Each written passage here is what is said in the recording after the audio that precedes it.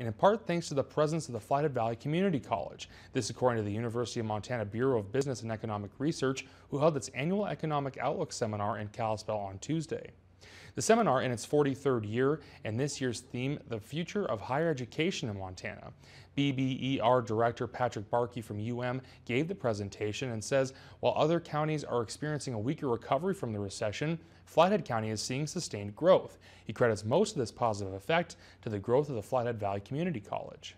Connections between the programs at Flathead Valley and the local economy are really uh, state of the art. I mean, you look at the the quick reaction time and the, and the ability of Flathead Valley to adjust its curriculum and its offerings to tailor it to the needs of employers is something that probably that I would imagine the commissioners of higher education probably wishes the other universities around the state could do as good a job.